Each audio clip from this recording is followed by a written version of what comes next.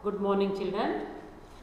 Today we are going to continue first chapter is over second chapter unit 2 people around me. In that we learned about the family members and I told you to color the colors for the egg which they are given in the basket. I hope you have colored it and we learned true or false and um, today we are going to learn and also coloring male and female in the last class I told you to color. Hope you have colored it. Okay. Open a textbook page number 20. Write about yourself means about you only. I'll ask you what is your name. No, you will say your name. So you have to write your name, your mother's name, number of brothers do you, how many brothers do you have, your age, your father's name, and how many sisters do you have. This is the column they are given here. You have to fill that in your textbook. Okay, children. Next, say hi to your friends and ask the questions given below. Fill in the details in the space provided. What they are given here? First one, what's the name of your father? You have to write your father's name. Or they are given the textbook. You can write that also or you can write your father's name. How many sisters do you have? If you have one sister, you write one. If you have two sisters, you write two sisters. How many brothers do you have? That also, if you have one brother, write one brother. If you have two brothers, write two brothers. This is the column you have to fill children. Page number 20. Now we'll go to page number 21. What do you say for the following people in your mother tongue? If your mother tongue is Kannada, now everybody in Kannada, I'll tell in Kannada only.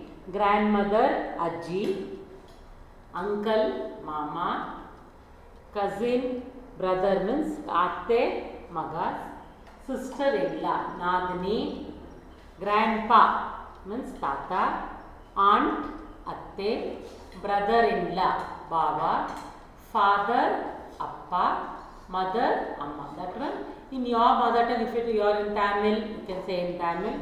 If you are in Telugu, like that, it is different. Your mother tongue, you can use. I told you in Kannada only.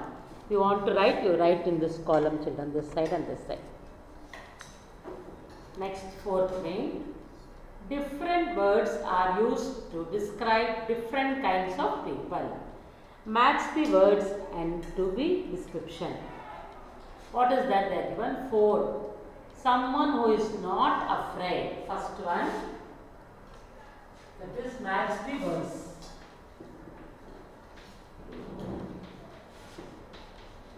Match.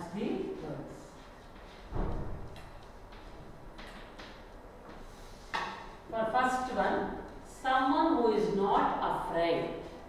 You see the bottle. Take your pencil.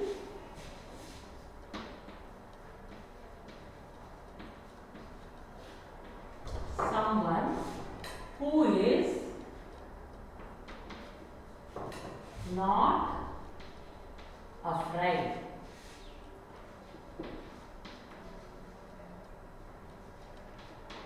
First one they given. And second, someone who is quiet, who is quiet and doesn't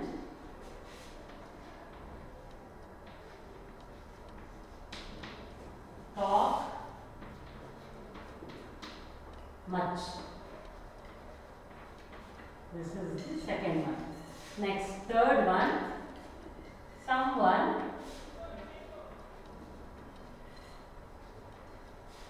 someone who likes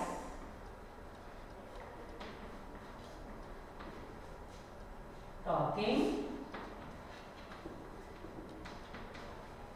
someone who likes talking and helping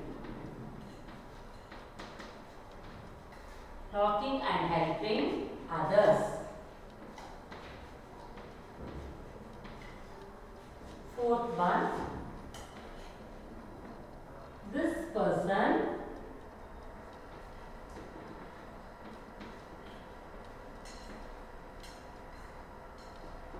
happy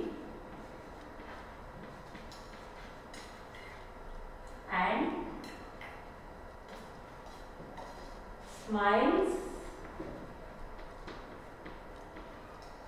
all the time.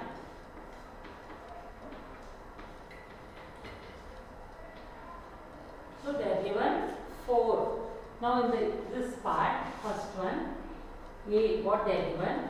Cheerful,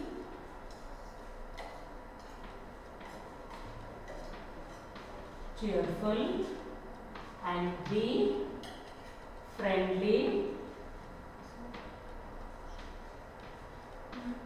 cheerful, friendly, and third one, C, that is brave, brave, and last one, D, shy. Okay. Now we'll go through this children. Someone who is not afraid. For that, what which one will match? Was who is not afraid means they will be always brave. So you have to put one number for this. Someone who is not afraid, they are always brave. Second one, someone who is quiet and doesn't talk too much. See, someone who is quiet and doesn't talk too much, they will feel shy. So put two for this. They will feel shy. Someone who likes talking and helping others. What is that one for? Which one will mark? They are always friendly. So put three for this. The last one. This person is happy and smiles all the time. She will be always cheerful. So put four for this. What did you understand by this children? Someone who is not afraid, they will always be brave. Someone who is quiet and doesn't talk too much, will always be shy nature they have. Someone who likes talking and helping others, they are always friendly. The last one, this person is happy and smiles all the time. So he will be cheerful. This one you have to mark in this, I will send you that photocopy. Okay children? Find someone in your class and write their names. They are given four of them. You can in your now you are not coming for school, so you can't find out. But in when you come, you can find out that children who is cheerful, who is friendly with you, who is very brave, and who is shy in nature. Okay. Lastly, tell your friends about an old person whom you know well. How old is she or he? What is her or his name? Do you have fun with her or him? Does she or he tell stories? That one you have to talk to your friends. What is that? Tell your friends about an old person whom you know well. Neighbors will be old person like grandfather, grandmother if you are no friendly. How old is she or he? What is her or her she his name? Do you have fun with her or him? Does she or he tell stories? So you can do that activity also children. Okay, turn to page number 22. What they given that? About Siri and about myself. Can you see this? About Siri and about myself. Siri has one brother. What, what about you? In the second column, it is about you people. I have two brothers or three brothers, you can write. She has one sister, but I have one sister. She has a grandmother. I have grandfather. She plays with her brother and sister. I play with my brother only. Siri is 6 years old, but I am 6 years old or 5 years old or 7 years, whichever it is, you can say that and write there. Paste a family photograph of yours here. Say who took the photograph, when and where. Introduce yourself, your family, your class and name. Okay children, this gap there given. You have to stick your family photograph and name how many sisters, brothers. You should stick here in this column box. Okay. This is your class homework in textbook activity. So we completed part 1 people around me unit 2 children. Okay, bye. See you in the next class.